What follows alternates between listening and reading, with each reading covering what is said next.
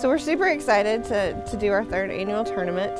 Um, 100% of the proceeds go directly back to our programming.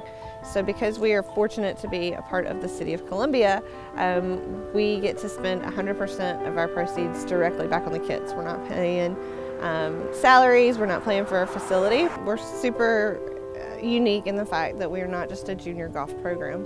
Um, we are really a classroom for life um, and the kids here are learning the fundamentals of the golf swing. Um, and kids who maybe have never seen a golf club, seen a golf course, um, are getting that opportunity, but they're also learning those core values like integrity and honesty. And yeah, what does that mean on the golf course? But most importantly, what does that mean when I go to school tomorrow? Or what does that mean when I'm at home? Um, so we ultimately want to make good uh, people, um, great people, good golfers is kind of our motto. You know, the, there's a ton of golf tournaments this time of year. I know everybody has one. Um, but ours is, is, special because it is for the kids, for our community.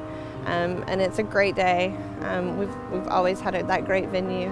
Um, Cobblestone brings it every year um, to the best. And as far as getting involved in, with the program, it's just a great chance for kids to try something new um, and to really lay that foundation for something that they maybe can do for the rest of their lives.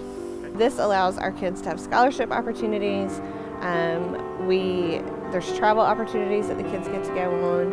Um, and so it's really a vital part of our fundraising plan for the year.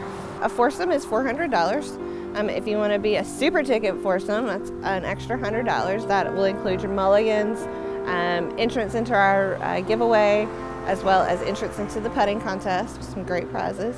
Um, and then to register, you just need to visit our website, which is thefirsttcolumbia.org, and there's a link right on there to go, and you can register right online.